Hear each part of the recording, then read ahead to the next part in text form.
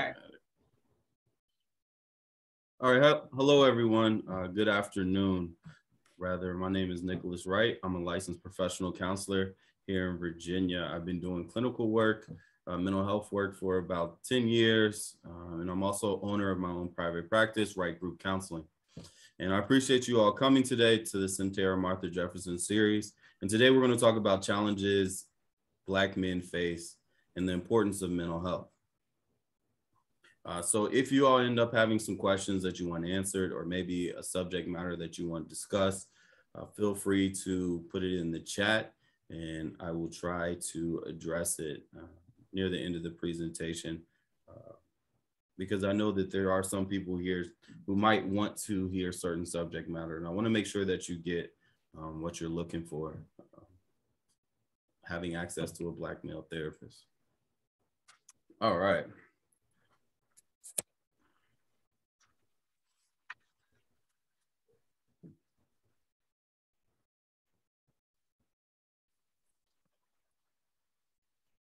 So today we're going to talk about the challenges that Black men face.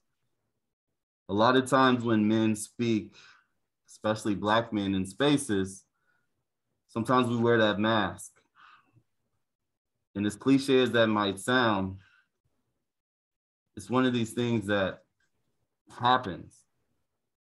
And we know that these things are happening because Black men are dying at an alarming rate related to suicide and also mental health. Did you know that Black students are less likely to ask for help than other races when performing academically? But this presentation is going to add that space so we can take these masks off and so we can have that level playing field.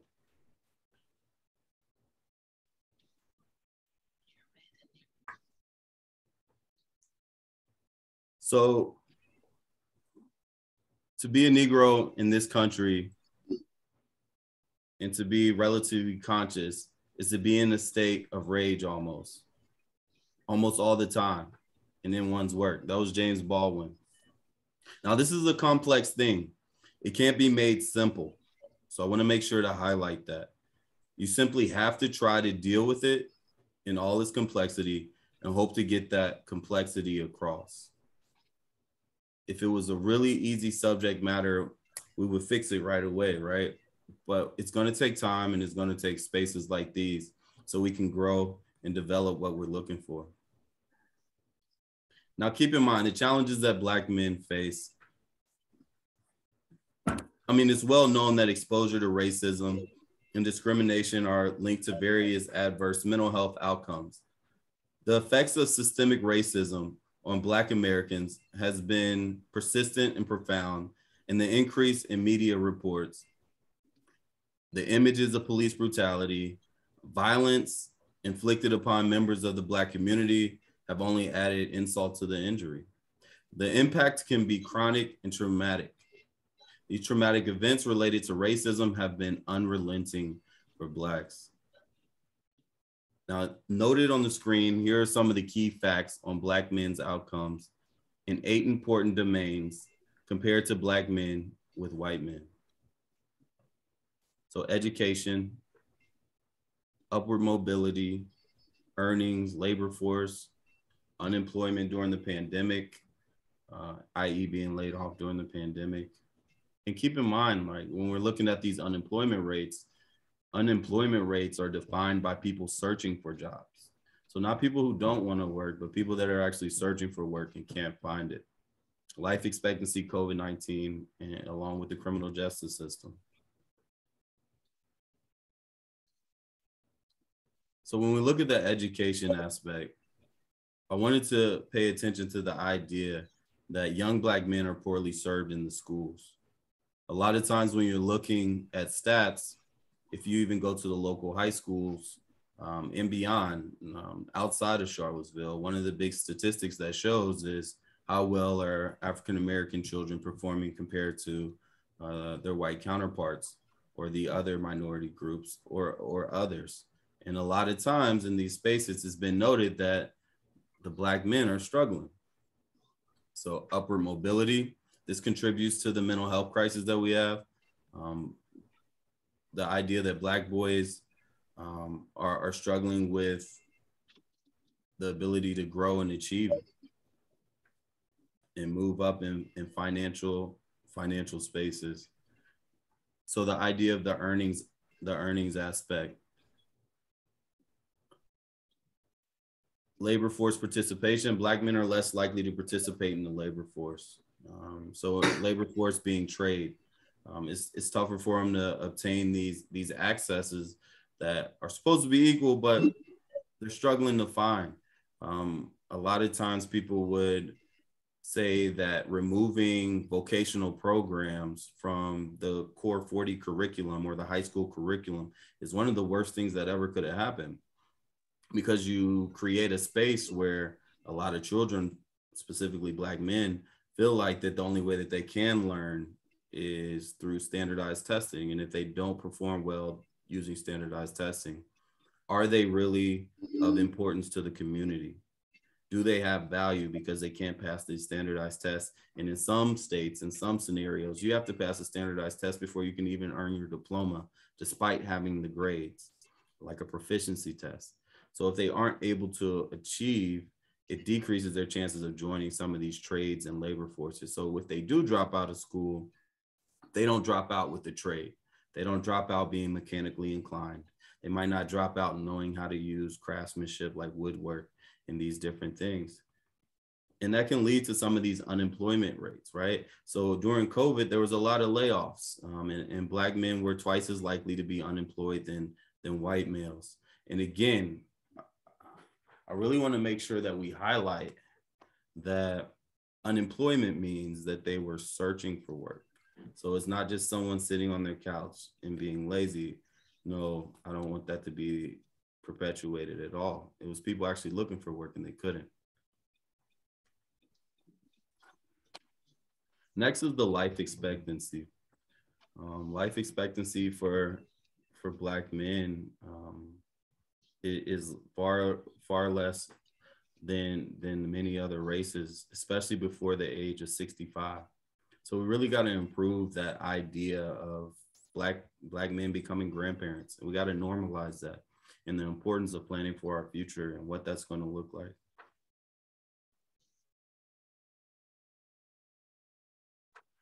All right, next, I want to highlight the COVID 19 deaths.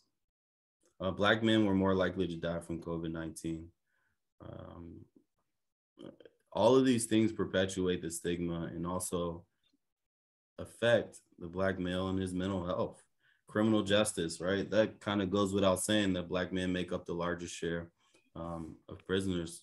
As uh, when we look at the statistics, uh, even in Charlottesville, there was a high number of men who were incarcerated. So we, we want to make sure that we're stepping in to create spaces for coping skills and education and access so that Black men aren't continuing to experience these hardships at such large numbers it's kind of sickening if you really look at it. All right, mental health of Black men. Mental health tends to be a taboo topic among men in general. Uh, given a choice, most would rather not talk about it. Uh, unfortunately, this is often more true for African American men who experience mental health problems at about the same rate as. I want you to continue listening to it. Don't turn it off, boy. If you don't mind, please mute your mics. uh, unfortunately, it's often more true for African American men who experience these That's mental health problems at the same rate as others. But they continue. So African American men, they're experiencing these at the same rate as others, but they're continuing to recognize uh, that they're being untreated uh, in, in, in large spheres of recovery. Um, while the same factors that make a lot of men treatment adverse likely play a role, cultural norms and their experiences uh, unique to African Americans may also account for this disparity. In some communities, mental health isn't always prioritized or acknowledged. And many Black men feel expected to endure problems like anxiety and depression rather than confront them. And some of that is brought to the reality of the definition of masculinity and what that looks like.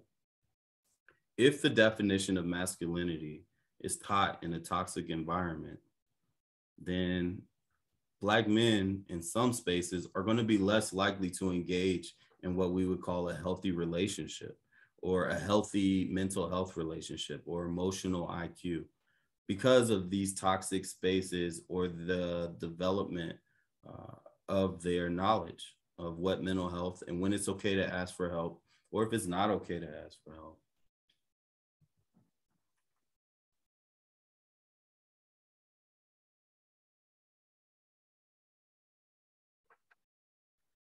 All right, mental health issues are relatively common in Black communities at large. According to the National Institute on Minority Health and Health Disparities, African Americans are 20% more likely to experience serious psychological distress, such as major depressive disorder, than white Americans. Rates of major depressive disorder in young Black adults ages 18 to 25, they increased by more than 3% between 2015 in 2018. And according to SAMHSA, Black Americans of all age groups are less likely to seek treatment than white Americans. Additionally, the US Department of Health and Human Service Office of Minorities, they reported that Black adults are more likely than white adults to experience persistent symptoms of emotional distress, such as sadness, hopelessness, and feeling that they have to dedicate extra effort to everything that they do. A lot of times that can correlate in that feeling of that imposter syndrome. So feeling like you're always being judged, um, feeling like you have to perform twice as hard uh, or twice as well as your counterparts to just get less of a grade or even to get equivalent of the grade. So all of these bias um, impede upon their everyday function. Sometimes uh, some of my colleagues and I will, will jokingly say, but very serious tone, would say, What would you become? What would you have become if it wasn't for the racial bias? Um, if it wasn't for that unconscious bias that you deal with, or that imposter syndrome that you deal with consciously or unconsciously, related to how African Americans are treated. Some people say, you know what, I probably would have been an astronaut.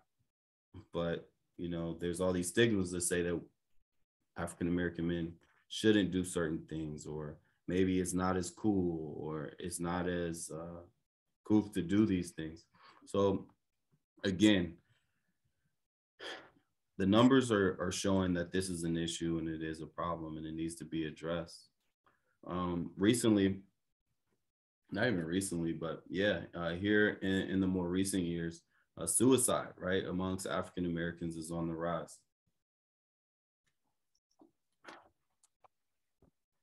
and researchers are sounding the alarm. Mental health providers, um, we're out here and we're trying to make that difference about the number of young black men who are dying of suicide.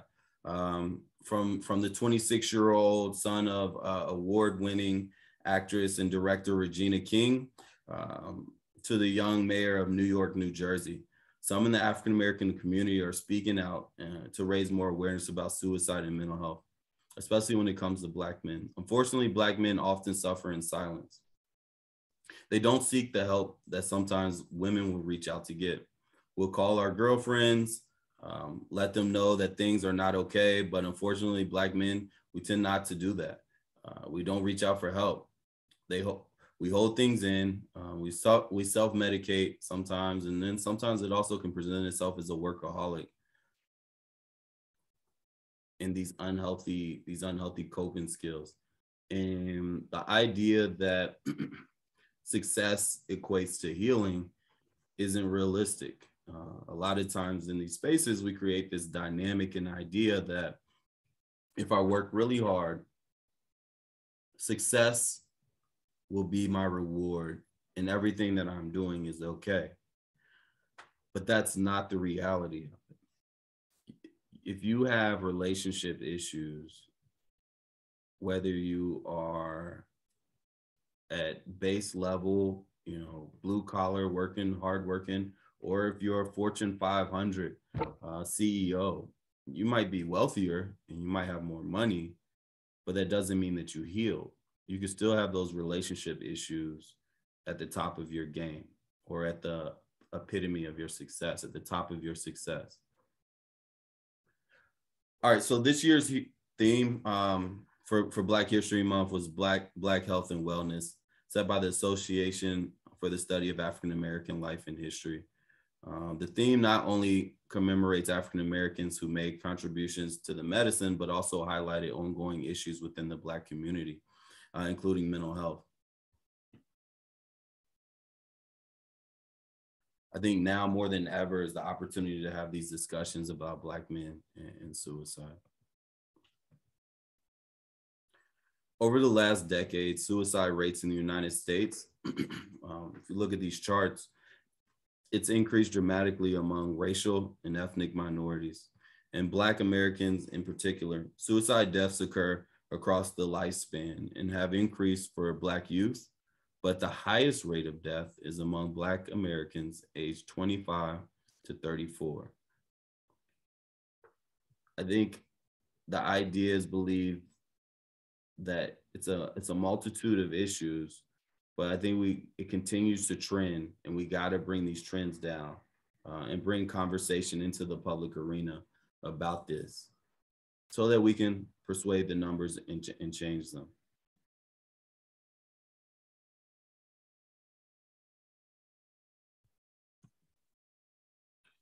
Our trauma. so looking at some of the things that can contribute, trauma is one of them. Um, exposure to trauma, whether it's through witnessing direct victimization um, or experiencing uh, indirect trauma through watching it on TV, uh, it can really impact how someone uh, maneuvers. Uh, a lot of times I, I think back to uh, some of these spaces where people will, you know, physically abuse their children. And what what does that childhood trauma look like? And how does that affect someone? Um, if a child is walking down a sidewalk and it's raining, similar to the weather that we might have here today, it's, it's cloudy skies. A, a child might look at a puddle and they might want to jump inside that puddle. And they want to splash and kind of be a kid, right? Because our prefrontal cortex doesn't develop until age 21. So it's pretty age appropriate because the prefrontal cortex is a part of future thinking and the ability to think into the future. Um, so the kid just wants to jump in the puddle, okay? But a parent who decides to stop that child or snatch that kid or discipline that kid in an aggressive way can actually cause that trauma where the kid is going to be less likely to explore. And we need these kids to be able to have that space to explore and to discover and engage in adventure because these are the techniques and tools that we're going to need to change the future of America and change the future of the world and society as a whole. We need that that intuitive individual to keep that intuitive spirit and, and, energy so when they grow into an adult they can help us solve some of these issues like global warming and all these other barriers that we're facing so the trauma is one of those things that can also be passed down from generations. So we want to we want to ensure that hurt people aren't hurting people. Um, and one of the best ways to do that is kind of self-reflect and look at ourselves and say, hey, am I on the right track and am I doing what I'm supposed to be doing to change these these future generations? It can be, excuse me, it can be helpful and grounding when you're addressing someone to look at them as a learner and also people who might have resentment towards their parents or towards a, someone who's senior to them. Uh, also look at them like they're a learner. Um, so it can ground you. You know, I'm a learner, they're a learner, and also their children are learners. Um, yeah, it can be it can be really helpful in, in that aspect. Uh, one of my good colleagues, uh, Yolanda Jones, she had spoke about um, grounding yourself in the idea of learning spaces. Our anxiety. So as it relates to anxiety, uh, anxiety is among the most common mental health condition, yet many Blacks fear mental health stigma and avoid treatment. And those who seek care may encounter clinicians who don't really recognize the impact of racial trauma. Uh, some of them might engage in punishment tactics, uh, punishment tactics being uh, just get over it, uh, it's not it's not real. Uh, you're you're you're over exaggerating. You know what? If you think that this is race related, then I'm just going to cancel my session because everything's not race related. Um, or and, and that can just be traumatizing in itself. And then also you have the biological predisposition um, that also can can lead to that anxiety. I want to highlight the difference between introverted and debilitating anxiety. It's okay to be introverted because in a certain space and time, we do want to save the diagnosis of normal. Even though people are like, what is normal? What is normal? There is a space in counseling and mental health that does save room for the word normal. There is a group of theorists that believe we got to save normal. So, normal is, um, you know, two 11 year old twins, or we'll say nine year old twin, twin boys running around the house, jumping on the furniture, running tracks, um, almost like um, sometimes some people's Labradors do when the doorbell rings, you know. Uh, is that anxiety? Is that ADHD? No, that's normal. That's what they're kind of supposed to do. They're kids who are in the house in the summertime. Let them go outside and play. So I want to make sure we save space for normal. But in this capacity, I want to highlight anxiety and how it can be led on by that early trauma and abuse, along with the biological predispositions. Uh, so let's look at biological predispositions, meaning that you kind of inherit it from your parents. So I, am a Southern child uh, at heart. I was born in Arkansas. I was raised in Cincinnati, Ohio, but um, my my roots are strong.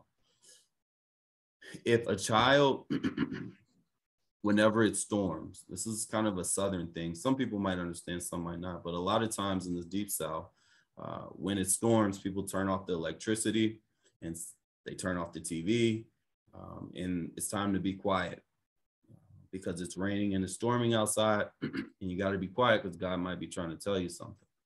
So, some people rock in a chair, some people sit on the floor, people get creative and draw and color and, and do those sort of things. But technology is all. Now, if that's how I was raised, and that was the capacity in which I was brought up, when I raise my children, unless I've experienced, unless I've experienced other disciplines and other spaces, then that's that's how I'm gonna raise my kids uh, in in that in that capacity where I'm gonna tell my children, oh, it's raining, um, it's time to turn off the lights. So these old superstitions and different things like that, those can be passed down from generation to generation. So there is that biological uh, predisposition and, shy and inhabited temperament. Um, sometimes that's just the reality. Um, it's okay to be shy. Your kid doesn't have to be a social butterfly. Sometimes black men aren't social butterflies, but some of that can be related to the anxiety that they're experiencing um, when going through the different spheres that they've navigated throughout life. Their experiences might not be your experiences, and it doesn't make them less than. But I think it's important to highlight that these cultural nuances exist and they contribute to Black men and our mental health. In addition to that, I think it's important to highlight that there is another side that other people don't experience. So, uh, if an individual, for some people, they had supper growing up. So they would sit down and have these table dinners. And these table dinners were a great time. It was a great space for people to communicate, learn about the other family member, how their day went, how things were going, um, maybe bullies, uh, maybe uh, different anxiety or quirks or kinks or just different frustrating moments. Um, sometimes it can even be playing the spelling game, but not everyone experiences that. And a lot of times in the African American household, it was less likely to have sit down dinners because they either one of the parents was working to make the the difference of wage. So keep that in mind as you're dealing with some of these black men in these spaces. You know not everyone's household is the same. And i think sometimes we forget when dealing with african american men that they are a complex issue and that they need to be treated as so all right coping with racial trauma so being seen and heard is essential to healing. uh, connecting with friends who are able to engage in racial consciousness um, conversations and willing to help you process your thoughts and emotions. Uh, a lot of people engage in prayer, mindfulness, uh, practice self care, engaging in different activities, um, learning to be aware and recognize the symptoms of racial trauma. Uh, it can really be important to have that baseline and have these tools that can be helpful for when you're experiencing racial trauma. So, what are these tools that might be helpful? So, first, being able to identify what is your baseline. Um, how does it feel to experience racial trauma and manage it in a healthy way? So, identifying that baseline of what it looks, what healthy coping looks like when you experience a racial situation or a racially jarring situation can help you identify if you're on target or if you're off target. So by developing that baseline of, hey, what does it look like when I've experienced racial trauma and I'm healing with it in a healthy way? Um, whether it's going to the gym, whether it's having that support group, or whether it's engaging with others who are like-minded, or even if it's just prayer um, or, or listening to music. Uh, is that those are healthy tactics that can help you if you experience that racial trauma, uh, not necessarily you know some of these unhealthy coping skills um, that we we all kind of hear about from time to time all right next is I, I, think it's important to make a list of situations people places um, and triggers that trigger your symptoms and your traumas and make a similar list of ways to cope with each of those situations uh, those people and places. So if you know that you know going to spaces where there aren't any African Americans and that makes you uncomfortable, then I encourage you to what can you do to cope with that? So you know that the trigger is being in spaces where there aren't any other African Americans. The other so to cope with that, you might say, you know what, I'm just gonna go to this event for 30 minutes and then I'm gonna leave because I know I don't want to be there for a long period of time and belabor it, but I know I need to engage in this situation because it's for networking or whatever it may be. So set a time limit for how long you engage. I think it's important to understand that it is possible for Caucasians or white counterparts to go multiple days without seeing anyone of a different color. But for most African Americans, it is not possible to go out of your door and not see someone. I mean, it is all right. So it white white individuals are able to go outside and go a week or le- some a little bit less, three to four days. It's possible to not see a minority. But for African Americans, it is possible to go multiple days and even weeks and not see someone that looks like you. And what does that do to someone's self esteem? What does that do to someone's implicit bias? What does that do to someone's focus in mental health? So, again, keep that in mind when you're thinking of Black men is that sometimes they've been in spaces where they haven't seen anyone that looks like them for a little while. Um, even for some, uh, they had they didn't have their first African American teacher until probably later in high school or even in college. And even then, it was kind of taboo, and that person's name might stick out in their head because they never had that experience before. So, when dealing with Black men, I think it's important that you understand that not everyone's walk is the same and that their struggle is different. And they notice it. Whereas some people have the privilege of not even noticing that, hey, I didn't see anyone that wasn't white. But for a lot of people, they don't have that option. As soon as they walk outside, they see it. I'm the only person that looks like me in this space.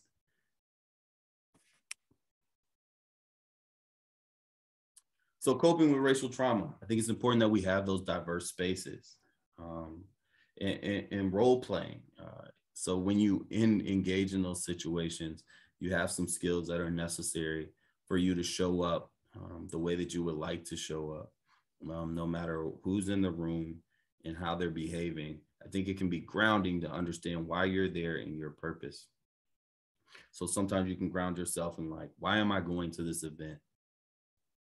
You know, when you're anxious about stepping into a space, you can uh, ground yourself in the idea of saying, I'm going to network or I am going to pass out these business cards or, um, you know, for, for even children, why am I going to this, this space where I'm the only African-American on this team? Like, I don't want to be the representation of what Black is. I don't want to be the representation of uh, Black culture. But I encourage you to go in these spaces, reminding yourself why you're there. Like, I am here to be an athlete. I'm not here to tell them why Black people wear do rags. I'm not here. You don't owe anyone justification for your actions. Just ground yourself in the reality of why you're there. Now, if you open yourself up and it's presented in a healthy dialogue or you're open to healthy communication about why you maneuver the way you maneuver, then go ahead and do that. Um, I encourage it because these discussions in these spaces are necessary for growth. But I also understand maintaining your peace of mind. You don't have to be that representative for some folks. Um, another coping skill for trauma, um, the American Psychological Association uh, experienced people who experience trauma in the aftermath uh, of these tragedies to practice self-care. So self-care goes all the way from connecting to family, friends, uh, other communities, and support people. Um, talk about your feelings, uh, and, self-care uh, can be something. It doesn't have to be that expensive trip to the beach. Um, it can also be, you know, micro doses of self-care throughout the day. So, what are micro doses of self-care? So that can look like humming your favorite song for 20 seconds that can allow you to ground yourself so you can show up as your true self and, and not someone that you feel like they want to meet or that person that they want to see. Um, and, and another technique is to do the superhero technique. It's simple, but it works. You stand up tall, put your shoulders out, and pretend that you're a superhero for 30 seconds. And you look around the room and you scan your environment. So if you open an elevator and you see me standing like this, it's probably what I'm doing because 30 seconds in the superhero pose has been studied to improve your mood for about 30 minutes. And if that's what it takes, I encourage you to try it because a lot of people are doing it, but we got to make sure that Black men are also doing it and they know about these strategies because their journey is, it can be stressful. It's tough. All right, here are some of the references that I have. And I just want to say thank you all for for being here and, and engaging. Um, I would like to engage you all briefly in um, a quick breathing exercise. Uh, and the purpose of this is it's something that you can take with you uh, and you can also teach it to others. Um, and it doesn't, you don't have to get a degree to, to do it. All right. so I encourage you all to stretch always. Shake your arms. I know you've been sitting for a while, uh, listening to me talk. Wiggle your fingers. All right. Now, when we do this, we want to make sure that one, our exhales are longer than our inhales. Two, it's important. It's not just me talking, it is important for you to breathe in your nose and out of your mouth, right? Because we want to create that ebb and flow. All right, that circular motion. And then three, you really want the air to go into your stomach, excuse me, into your gut. uh, and if you're doing it right, sometimes people tend to yawn, um, but that's okay. We're, we're getting grounded and we're decreasing our stress because we got to figure out ways to, to decrease our stress because stress isn't good. Stress can kill you. All right. So roll your shoulders, sit back in a comfortable position. Close your eyes if you're comfortable doing so. Let's begin. Breathe in your nose for a count of three. And out your mouth for a count of four.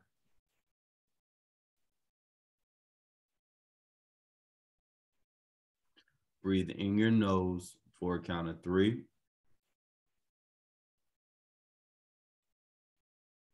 And out your mouth for a count of six.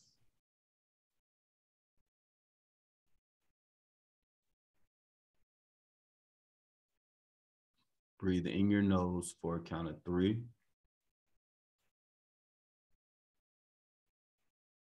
And out your mouth for a count of four.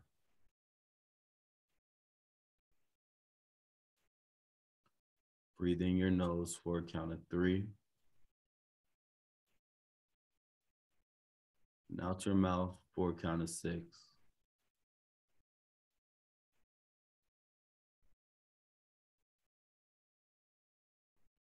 All right, good job. Just know that you're here to make a change and make a difference. And one voice can stop an army. So we need people like you. I appreciate you all for coming today and feel free to reach out um, if you have any more questions.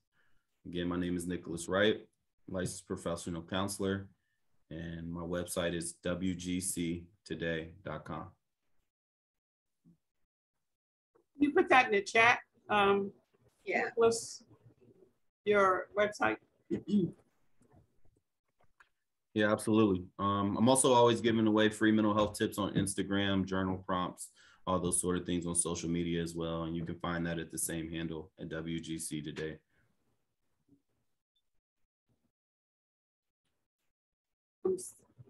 Someone says thanks.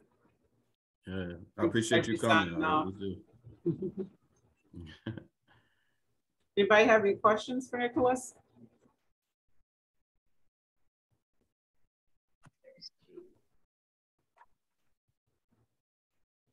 Alex said so helpful. She's, um, was the one said she had to sign off a little early. Okay, awesome, awesome. Well, I appreciate you putting this together. Um, I really do, and I appreciate you inviting me. Yeah, I Um, really appreciate you taking the time, and I think it's a very, very, very important um, topic and something that we need to hear more of and feel more comfortable in reaching out for mental health overall, and especially in the Black community. Um, You know, I think it's really, I wish we could get more people to feel more comfortable asking for help, but I we challenge everyone to, if you know somebody who needs help, you know, please try to reach out and offer any kind of support you can. Because mental health is really challenging and, and I think a lot of us, everyone, I think is experiencing some forms of, you know, mental um, concerns and issues with everything that's going on in the world right now.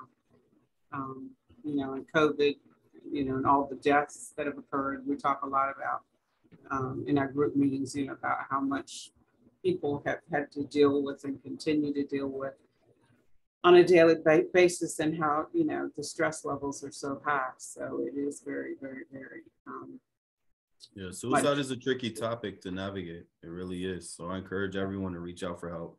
Um, or if you know someone, please reach out for help. Because the cool thing about it is we live in America. So um, the hospitals have to help you. If you call 911, they have to help you. They will send Yeah. someone to pick you up and get you leveled out. Um, either it's needing someone to talk to, or um, if you if you want to go inpatient and, and maybe talk about medications or even non-medicated techniques to help. mhm. Yeah. Um, a few questions in the chat. Um, will you be doing more? I had my son watch. Someone wants to know if you're gonna do any more talks, I guess. Yeah. Um, so I do a lot of different talks, um, like all over. I would encourage you to check out my Instagram and it'll update you on the different talks that I'm doing. Um, and I've done stuff from elementary schools um, to um, CIT training for, for police officers and just discussing that aspect of policing and how that can be helpful, um, as well as Black men and, and mental health. But yeah, um, just be on, on the lookout for that. Someone wanted, um, could you add references in the chat, but you put, the references were on your last screen shot. Yes. I think you sent me. Is it okay if I send that out? Yeah, yeah, yeah. Um, let me give you the updated version. Okay. Or you can put it yeah, you can send me another one and I can send it to the group um, that I communicate with. And if anybody has, that's not with Star Hill Group um, and want to give your email, I can include you on uh, an email with Nicholas's references. And this um, discussion this evening is being recorded and we will, um, I just have to download it and upload it to our um, site. And so that could be sent out as well if you want to view it again or maybe have a friend um, view it. And Nicholas, if someone's interested in reaching out to you for help specifically, um, tell them the best way to reach you. Yeah, absolutely. So you can reach me directly at wgctoday.com. Um, and then my email, I can also add that into the chat. Nicholas Wright, nicholas.wright at wgctoday.com, uh, along with, um, and th- those will probably be the easiest way. Um, I have Psychology Today. I accept most major insurances, uh, Aetna, Anthem, United, uh, Cigna, and I work with adults, so 18 and older. But yeah, we're we're here. We're in the community. Um, we just want to help. Well, thank you so much for being here this evening and helping us out on this very important topic. And hopefully we can have you again at another time, um, maybe as a follow-up. Yeah, no, road. absolutely. But yeah, I um sometimes I do community forums in the space where people will have their questions um, or something that they want to talk about, kind of like you hear on the radio where they say like Mhm. talk with an attorney. So Oh, yeah. sometimes we do like talk with a counselor, Mhm, and um, people will just write different subject matter, and we'll just kind of go in on it, mhm. give them free counseling advice. So maybe we could do that next time. I think that might be fun as well. Yeah, that would be good. That's a different spin on it. Do you usually get good uh, participation in those group sessions? Yeah, I, I usually do, but they are usually um somewhat intimate, and then uh so like like for Kappa Alpha Psi, so that organization they reached out to me, and we just had like a forum for Black Men's Health. Um, Right. I've done it for Masons. I've done it for like a UVA classroom, um, Mhm. and just different different spaces where people just want to talk to a counselor. Right. And you work with all, you work with women and men, right? Yeah, absolutely, absolutely. Um, and couples as well. I mean, it's tough. It's tough Yeah. navigating mental health and the concerns, and especially the stigmas that we have. But I think the forums like this and the communities where we can normalize it, uh, it can make it easier because as parents, you know, we don't always know the answer. Um, Right. But we want to help and and sometimes as adults we don't always know the answer. So Right. that having a having a safe space to say whatever you want to say and not have to worry about it stabbing you in the back. Is really priceless. Um, and that's what we help you know providing non-medicated techniques to help people overcome their barriers. So i encourage people to look at finding a counselor like finding um, a good pair of jeans or a good pair of shoes. Sometimes the first ones you try on aren't the best uh, it's not the perfect fit for you. But I would encourage you to continue to try until you find something you like. Don't give up on the first shake. I'm also want to highlight uh, Charlottesville Clinicians of Color Network um, because they they have grant funding for people in the Charlottesville and community area providing free counseling. So cvccn.org. Um, Yeah, put that in. Someone had just asked how to get help if you don't have insurance. Yeah, yeah, yeah. So if you live in Charlottesville or surrounding counties, uh, this is the perfect time. Uh, cvccn.org. Sorry, it's all caps. But the purpose is um, they have we have a grant right now. Um, the collective has a grant, and it's providing free mental health counseling to people who might not be able to afford it or they have high deductibles. and you know, if your deductible is forty five hundred dollars, it's like for some people and, and gas is five it's like i can't reach 45 and it's just me on the insurance so we have all these different issues with playing the part but again for people of color looking for counseling i encourage you to check out cvccn.org um, it's also a list of clinicians in the area that are of color uh, that provide mental health counseling uh, and, and want to help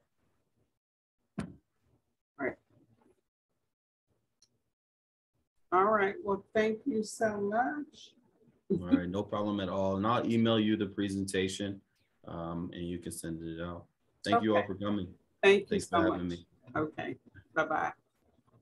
Um, for my participants, just a reminder, tomorrow is, um, Fresh Pharmacy Pickup Day. So just a reminder for that. Did anybody else have any other questions for me before we sign off? Got a few extra minutes tonight. Um, Satora, Yeah, um, how long is the yoga classes for? um, the yoga program will go through, um, September thirtieth. Oh, okay. All right. The program, they set it up the way they do their programming, which was May through September. So, um, I haven't heard anything from them recently to say, you know, if they were thinking, I mean, the only reason I could think they might not do it as long as if the attendance um, slows down. I'm not sure. I haven't heard anything from John as far as like how many people are coming because I haven't been, I'm not able to come to all of them. Okay, I just asked because I had, I missed Thursday night Mm-hmm. and I just wanted to be sure I hadn't missed the last night. Cause I had, I never knew when the end date was. No, right. You still Mhm. have through the summer. Um, and please, Okay. please keep coming. And, you know, even if, I guess if you have a friend or family member that wants to come, bring them along because we're trying to get more participants. I know it's primarily, it's for our patients, but, um, you know, they're not really, um, checking that and we want more people to come. So if you have a friend, you know, bring a friend or family member. If somebody else is interested in coming, I would say So is that, um, is that an age limit on that? I mean, like a twelve year old? Um, I think it's, I mean, you know, they set it up mainly for our patients. And so Oh, we're all adult age. But I mean, you know, if you said you had to bring her with you because you don't have anybody to stay with her, I think that's fine. Okay. Okay. Yeah. I have, I have really enjoyed that. I mean, he stretched out stuff that hurt. Yeah. So how, has there been, how many, about how many people have been coming in the evening? When, uh, when I went week before last, we had five, Okay. including myself. So that had gone up from what it started off with. Yeah, I know it started off slow. Mhm. And the So- daytime, I think, was about five, right? Four or five, it depends. And I know some folks can't come to every single one. So sometimes there's uh, maybe not as many as others. So, um, yeah. So Tua, so I'm hearing you correct that we can invite people now that that's not in the program. Well, I mean, you know, don't broadcast it. No, I won't, You but know, if one other person wanted to come. Yeah, I'm saying, right. I'm saying that I, I feel it's okay to bring a friend or a family member, one person to Uh-huh. come with One you. person, yeah. Because I, um, you know, we want the classes to continue and the attendance and participation is the key, you know, to keeping it going. You know, I don't want it to seem like, um, you know, that people aren't interested because it has been kind of slowly attended. And I do understand that, you know, not, the timing is not always opt- optimal. So I would also say, if you know, if there are other times maybe to look at for future, um, you know, um, we tried to offer a morning time and an evening time. And I know days of the week, um, are different for everybody because everybody has different schedules. So it's hard to pick a time, you know, that works great for everybody. Um, initially, we thought the Wednesday uh, morning time was good because on Wednesdays we do have fresh pharmacy. So you all would be coming here at least every other Wednesday. But um, I know some folks, um, the church has um, Bible study on Wednesday at Mount Zion, I know of. Um, and anyway, it is hard to pinpoint or find a day that a day and time that's good for everybody. So then that's why we had the evening time too as another option and for people who were working. So, um, you know, we're trying to stretch it out, but um, if they offer it again, you know, we can look at potentially offering it on a different day and time if that's something that might, you know, if there are a bunch of people that, you know, like the same day or something. I don't know. I can't guarantee anything, but, you know, we do want to be able to keep it going and I hope they'll offer it again. Um, you know, for next year, because it'll end in September, the end of September. Um, and so wouldn't be potentially offered again until uh, May again, but that will depend on, you know, if they are still willing to offer it, because they do have to have the instructor and all that. So, but I think it's great that we've been able to have, you know, have the opportunity for everyone. All right, ladies. So if it's nothing else, I'm going to sign off and I'll see several of you tomorrow, probably. Thank you. Good night. Good night. Have a good night, everybody. Have a good evening. Good night, everyone. Thank you. You're welcome.